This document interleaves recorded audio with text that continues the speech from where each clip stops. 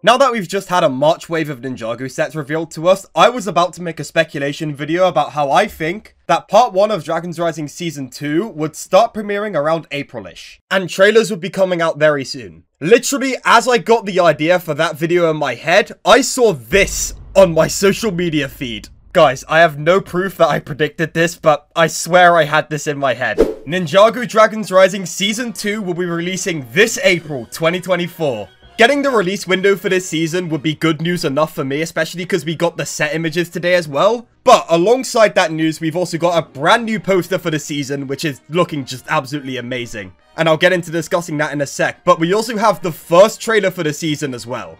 We have a bunch of news to cover today, so let's get into it. So, the first thing I want to talk about here is this teaser poster we have for the new season of Dragons Rising, which shows us quite a bit. This poster is illuminated by the Blood Moon, which as we get into later, when we actually get into the trailer, we'll see that this is a central plot point of the season. There's no way it's not.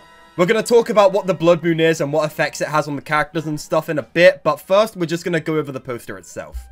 Here we have our first look at Lord Ras, where we can see him using the Gong of Shattering, which is also something I'm going to get into. We see some Wolf Warriors here, and we have our first look at Cinder, who seems to be powered up by the Blood Moon. And here we have Arin, Lloyd, and Sora.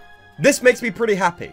I have had kind of on and off concerns about Arin and Sora's presence in the show, given the, their lack of minifigures and whatnot. So seeing them front and center on the poster with Lloyd just being these three again makes me happy to see. I think Lloyd, Arin, and Sora is a really good core free cast for the main show, and I'm glad they seem to be sticking to that. On here, though, we also have the adult Ryu design, or teen, or however old he is now, and I didn't like how this design looked in that social media ninja short, but this framing for it looks a lot nicer in my opinion. Like, I get that the purpose of this was to be a dumb, goofy short, but it this design did look kind of goofy here, but here, I think it looks a lot better. So yeah, there's not really too much to say about this poster. I think it's a really dope design, and I'd love to have this in a higher resolution. But yeah, this is a really cool poster. Now, onto the thing we're really excited for here, that new trailer.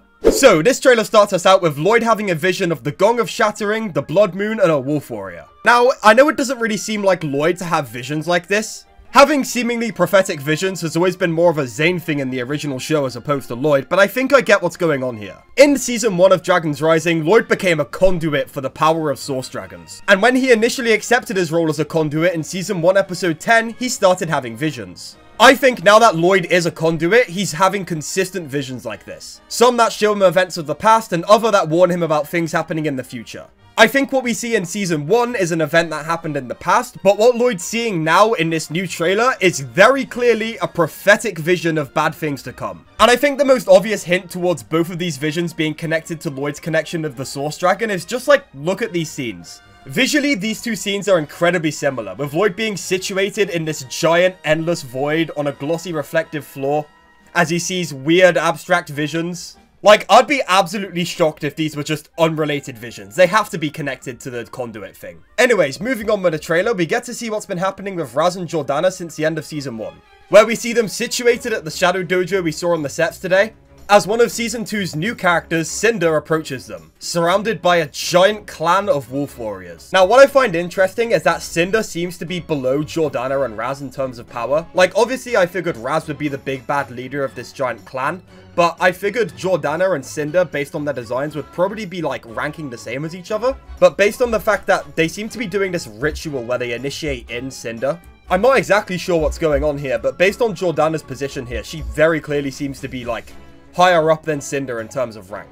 Which I find to be pretty interesting. Anyways, this ritual plays out as Cinder hands a new hammer to Ras, who then goes on to hit the Gong of Shattering with it. Now, as for what the Gong of Shattering is, we have absolutely no idea. I believe one LEGO designer mentioned that he uses it to command the army, but that's basically all we know about it so far. It seems to be in some way connected to the Blood Moon that appeared in the start of the trailer and the poster, now, what's interesting to me about the Blood Moon is you might not see it at first, but we have seen this before in Dragons Rising. Do you guys remember how after the realms merged, the world had two moons, one white and one red? In the final episode of Dragons Rising Season 1, when Lloyd uses the Dragon Energy Cores to stabilize the merged realms, that red moon vanishes. It poofs into thin air. After Lloyd stabilizes the Merge Quakes, this lack of a second red moon is the first thing we are shown. At first I thought, oh whatever, this scene must just have some kind of bad blocking with the red moon being behind a building or they forgot to put it in or something like that. But now I'm starting to think this is like foreshadowing for the entire plot of season 2. Like you can't show me the red moon disappearing here and then show us Lloyd having a scary vision of a red moon and then tell me nothing's going on with that moon. They did a really good job subtly foreshadowing this plot point in Season 1, and I'm super excited to see where it goes heading into Season 2. Now, as to where I think it went, I have no idea. Maybe Ras pulled a Gru and stole the Red Moon or something like that. But what I do think is that the Blood Moon is what gives these Wolf Warriors their power. How I imagine it works is the Gong of Shattering channels through the powers of the Blood Moon, and then in turn pulls them back out from the moon and gives it to whoever wants them. And I assume that process is carried out by hitting the gong of that hammer. After we see this, we get a look at the ninja fighting Ras's wolf warriors in the Cloud Kingdom. And something I find interesting here is that Cinder putting on the wolf mask is what seems to give him the weird Blood Moon power. Which makes me think that these wolf masks are more than just a cool design and that they actually have plot relevance here. Or maybe it's just Cinder's wolf mask specifically that has this function. I'm not entirely sure because the other wolf warriors have their mask on and don't get the weird Blood Moon powers. By the way, whatever powers are at play here only activates in Cinder's mask after Ras hits the Gong of Shattering backing up my theory that the Gong of Shattering essentially cools the moon to give him powers. Another thing here I want to point out which I'm quite happy about is that Jordana in the show has now swapped to using a set hair. In the new Season 2 sets, Jordana was sporting a different hairpiece to her hairpiece from the Season 1 show. So, for the sake of accuracy, the show has been brought in line with the minifigure, which makes me happy to see. Also, you guys, you see over there, just in the very corner of the screen? Who does that look like to you? Nya's mech suit definitely doesn't look like that, so I'll give you three guesses who wears blue and dark blue. Jay, at this point in the season, seems to be back on the ninja team. Anyways, after this, Cinder powers up, lunges at the ninja, and the teaser ends. Overall, this was a really solid teaser for the new season of Dragons Rising. I would have liked for it to have been a bit longer, but at the end of the day, I do get that this is meant to be a teaser. Just a little something to get us excited for things to come. And beyond that, we're still two months out from the release month of Dragons Rising Season 2, so I can see why they're playing it light with the marketing for now. But still, the part of me that's really excited wants to see more of this season.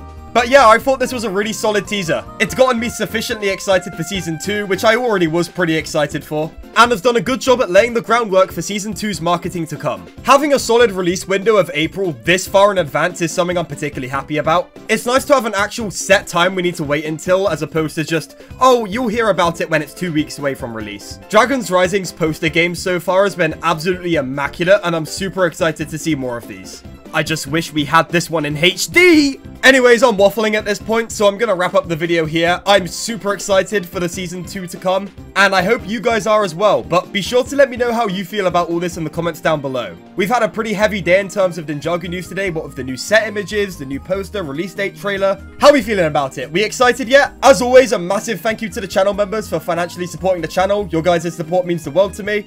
And a huge thank you to everyone for watching this video all the way through. If you like Ninjago videos like this, be sure to subscribe and hit the notification bell. And as always, I will see you in a future video. Goodbye for now.